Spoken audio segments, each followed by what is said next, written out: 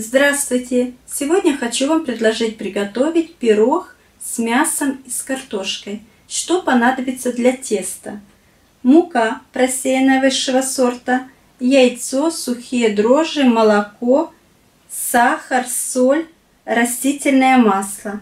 Для начинки мякоть свинины, сырой картофель, лук, лавровый лист, сливочное масло, соль, перец черный молотый. И еще на стол я не поставила яичный желток для смазывания пирога. В миске, в которой будем замешивать тесто, выливаем 250 мл молока теплого 35 градусов. Добавляем к молоку сух, сухие дрожжи 10 грамм. Размешиваем и даем время раствориться дрожжем. Прошло 10 минут, дрожжи растворились и поднялись. Появилась такая дрожжевая шапочка. Добавляем одну столовую ложку без горки сахара, пол чайной ложечки соли, одно яйцо,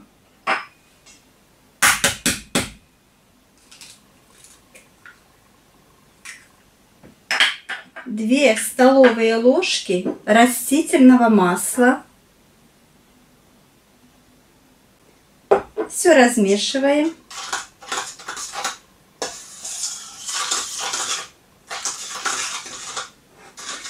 Здесь у меня просеяно 3 стакана муки. Вместимость стакана 250 миллилитров. Добавляем муку понемножку и замешиваем тесто.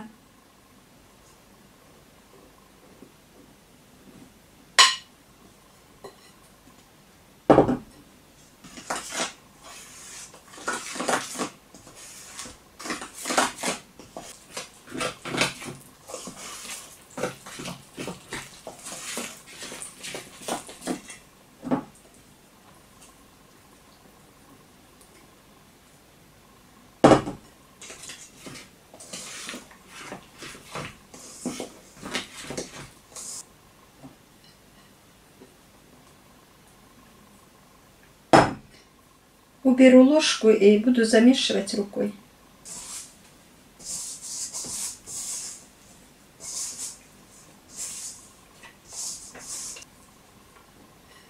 Высыпаю оставшуюся муку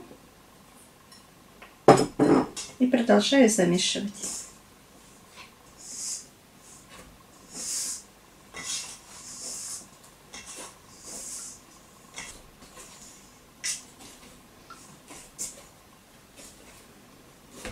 Добавлю еще где-то пол столовой ложки растительного масла на тесто.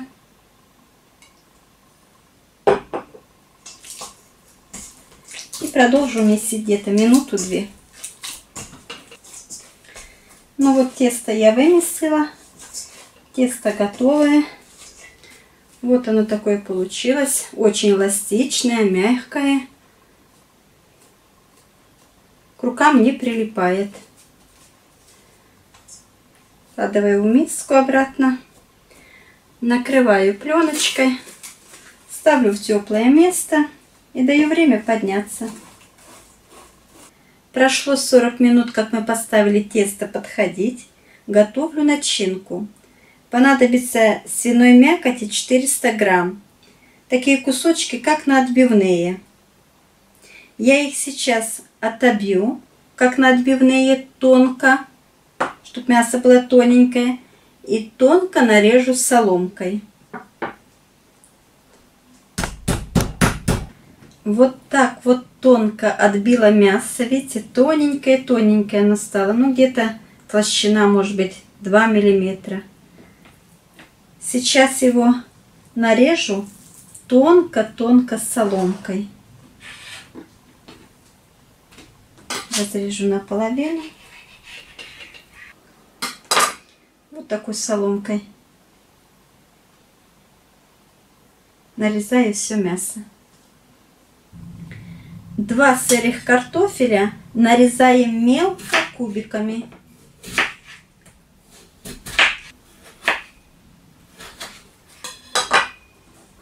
Вот такими кубиками мелкими. Два репчатых лука нарезаем мелко кубиками. Так как у меня маленькие луковицы, я взяла две. Если у вас крупные, можно взять одну луковицу.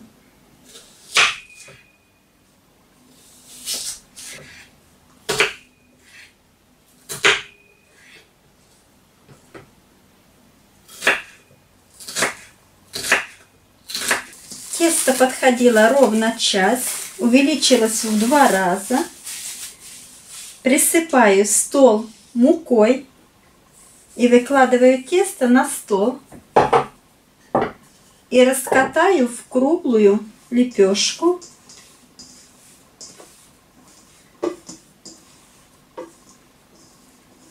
Муки буквально немножечко, чтобы тесто не прилипало к столу.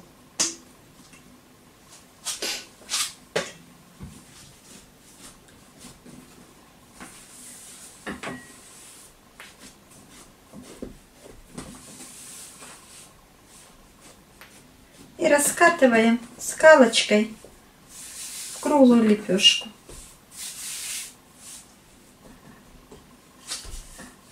Ну вот круг я раскатала. Толщина теста где-то ну, 3 миллиметра, где-то приблизительно так. На одну половину теста, вот так вот на одну половину, разделяю ее, выкладываю мясо Начинку до самых краев не выкладываем, так как мы будем защиплять. Где-то сантиметр оставляем без начинки теста. Сверху мясо солим и перчим по вкусу.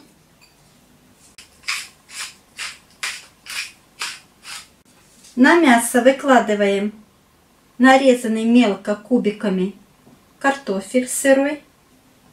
Картофель солим по вкусу.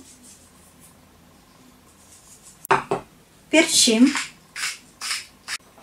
На картофель выкладываем мелко нарезанный кубиками лук.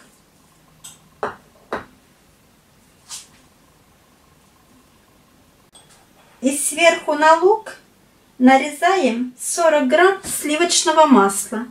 Если у вас мясо жирное, жирком, Тогда, конечно, масла нужно поменьше.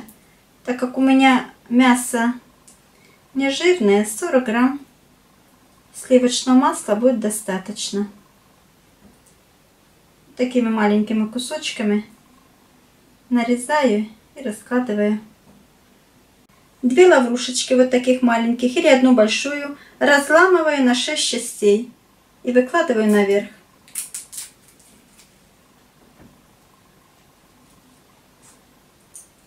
Накрываю начинку второй половиной теста.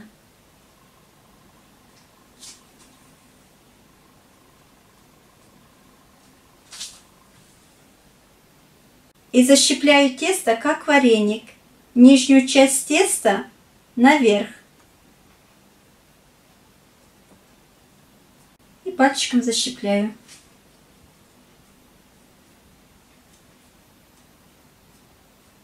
Противень, в котором буду выпекать, смажу растительным маслом. Аккуратно переложу в противень, чтобы не порвать его.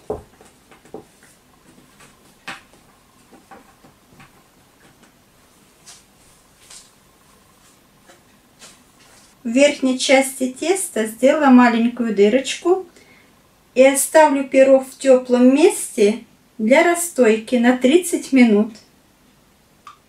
Прошло 30 минут, пирог подошел, смажу взбитым желтком. Ставлю пирог выпекать в разогретую духовку до 200 градусов до готовности на средний уровень. Переложу его на досточку Накрою пирог полотенцем и выдержу 20 минут.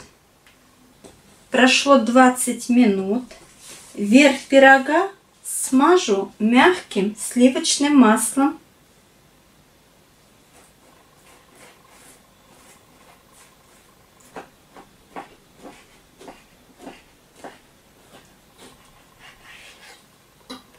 Ароматный, режу такой аромат. Вот так пирог выглядит внутри. Еще горячий он. Приготовьте. Порадуйте своих близких. Ставьте лайки. Подписывайтесь на канал. Заходите в гости еще. До свидания.